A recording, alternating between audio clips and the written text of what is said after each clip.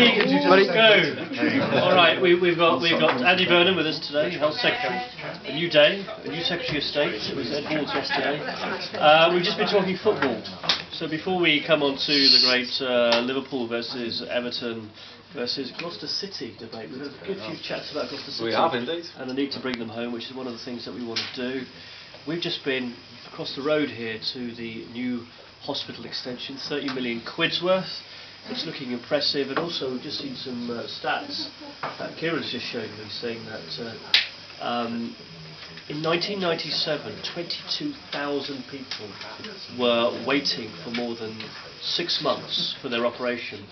Uh, Health Secretary, do you know how many there are now in the southwest of England waiting that long? Well, I hope it's a big fat zero, but It is, it's a big fat zero, it's nothing. How's that happened? it's happened by investment, hasn't it? And um, proper um, care for our National Health Service. And my dad had a heart bypass operation in Liverpool not so long ago.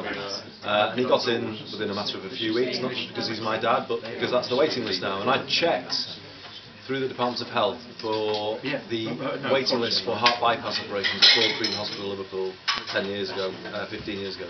Two years people were waiting. And I just think at this election we just have to remind people about the unbelievable change that there's been in the National Health Service. How many people in those days never got off those waiting lists because, sadly, they, uh, they didn't make it. You know, this is a major change and we should be very proud of it, aren't we? So the message is here in Gloucester, vote Labour, keep the investment coming in. One last thing, how are, how are Everton going to do next season?